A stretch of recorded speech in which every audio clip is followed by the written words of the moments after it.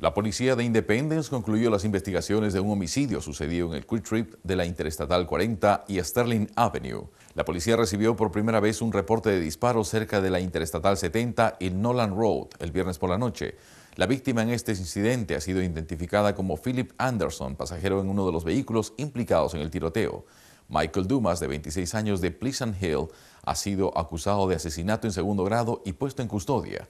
Un segundo sospechoso, Donovan James, de 18 años de Kansas City, es acusado de asesinato en segundo grado, uso ilegal de armas y acción criminal armada, anunció el fiscal del condado de Jackson, Jan Peters Baker, ayer lunes. Una rápida acción policial en un positivo aporte para la seguridad ciudadana de Kansas City en su lucha contra el crimen.